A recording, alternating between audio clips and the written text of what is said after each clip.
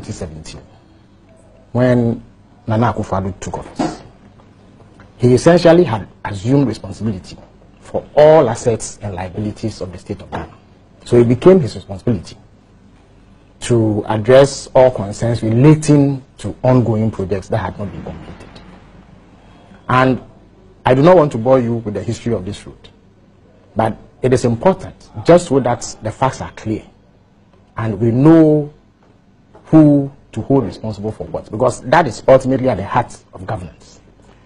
This road started under the Kufuor administration. At the time that we came to office, it had reached less than 10% completion rate.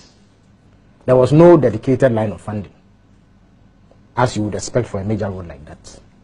So we had to float about 400 million Ghana cedis in bonds to complete that road and three and two others that were on government of Ghana funding. So at the time that we were leaving office in 2016, the road itself had been completed. Concrete slabs and pillars had been erected for a footbridge to serve pedestrians. What was left was some finishing touches, staircases and guardrails, and other things that would make sure that it was in good shape for pedestrians to use. Two years, in my view, is sufficient for the government that replaced us to have fixed this food footbridge. They have had plenty of opportunity and they have had the resources to do it. It does appear that they did not prioritize the completion of these footbridges because in terms of scope and scale, it is minimal compared to the overhauls, the overall size of that project. So what they needed was just a little push in order to address it. Now, having failed to do that, it is surprising that even in the wake of these violent demonstrations, we have had government officials refuse to take responsibility and go ahead to push blame on the previous administration.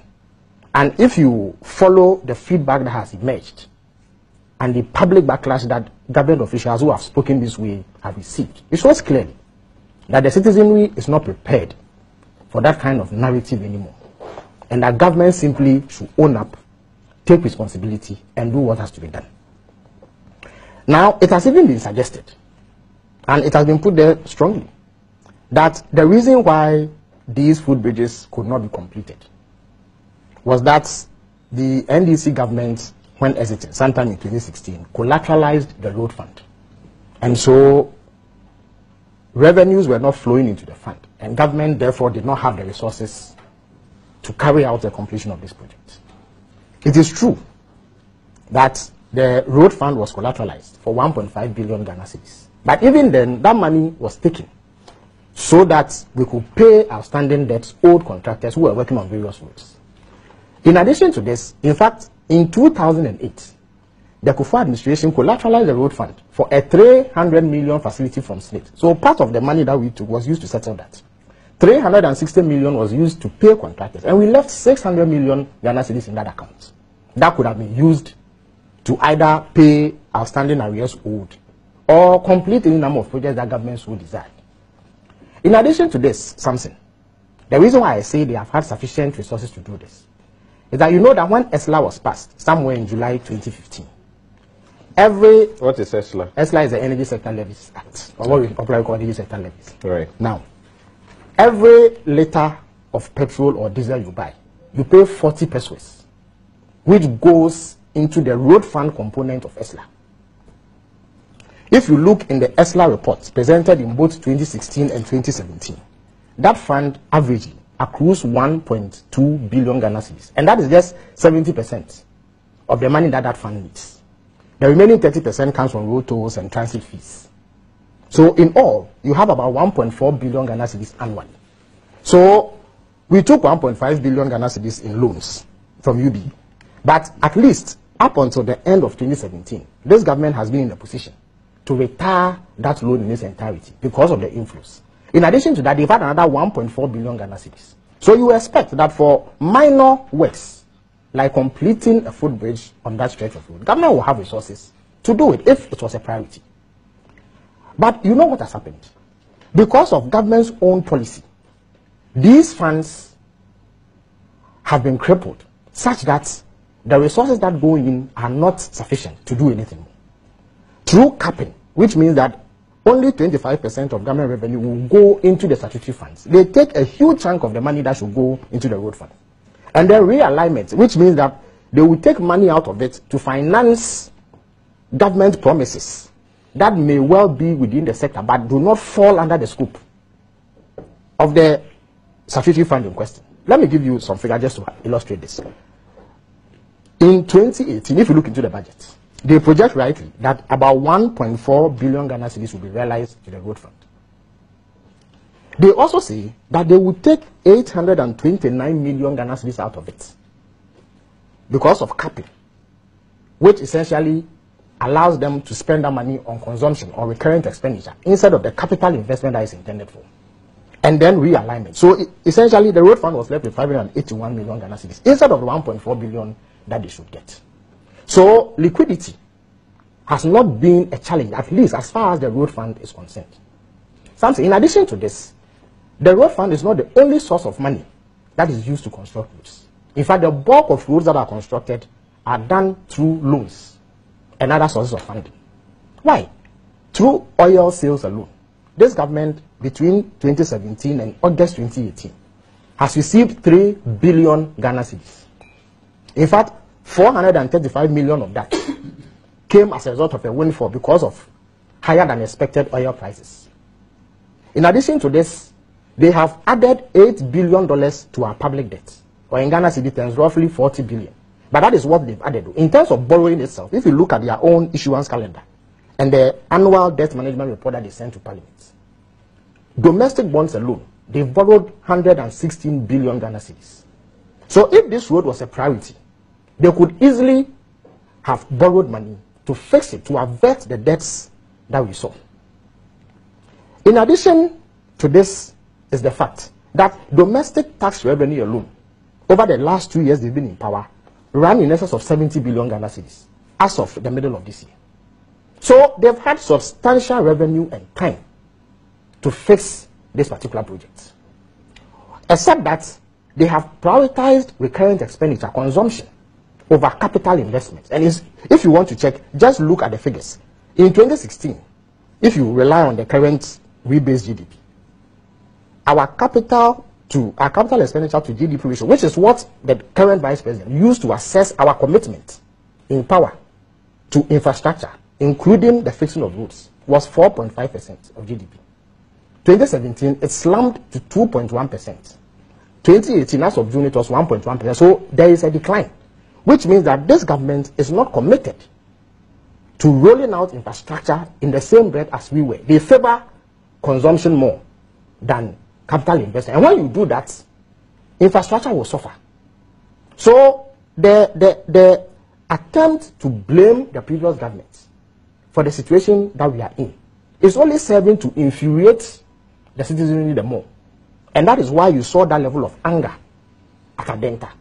Surely, President Mahama, when he became president, added to that road to the extent that he could.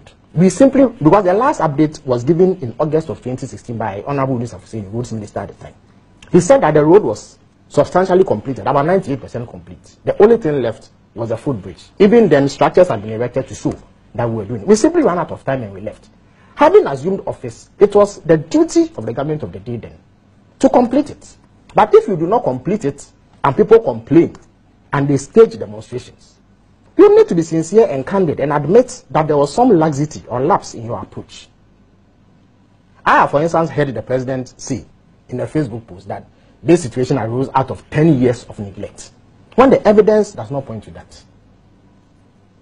Again, look at the speed and dispatch with which, after these violent demonstrations, the problems are being addressed. Suddenly, the government is in a position to fix this problem within a matter of a week. Yesterday, there were reports, indeed I saw pictures, of how street lights have sprung up overnight and how other facilities and amenities are being provided. What that means is that government has always been in that position. Whatever it is that they were able to do to get the contractors to agree to go on site to work, why did it take them so long to do? And to cap it all, you have government officials making statements that show insensitivity. Why? We've heard the president say that his topmost priority is the building of a cathedral. At a time when people were complaining of hardships and demanding upgrades in infrastructure to ease their lives, that is what the president felt was his topmost priority. Quote him right. He says Priority it's a priority. priority among priorities. Absolutely. It it's a topmost among his priorities. Okay. That's what it means. I've No, only it's, interpreted. it's, it's not the same. I don't Well- want us to argue. well, but- but- he says it's a priority Oh, among let priorities. us not split hairs over this. Okay. It is clear what the Okay. president So let's talk about. he places much more emphasis. No, you see, I, I, Right. I highlighted that to mm. show you that people are getting angry.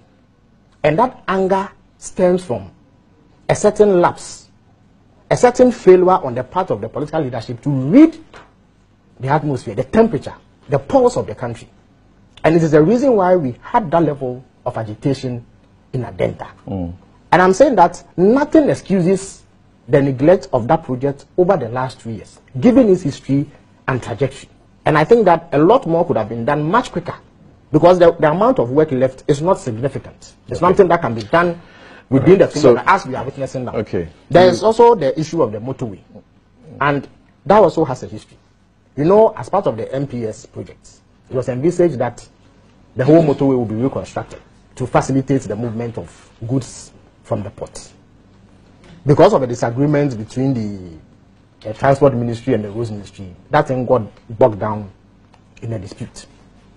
So, the NDC government, before it left, secured money for the motorway runabout from Japan when President Mahama went for the TICAD conference in 2015, that is when that agreement began. And we got the money before we left office. So that project apparently is ongoing. But there has been some lack of information on, an, on what exactly the status of the repair of the motorway itself is.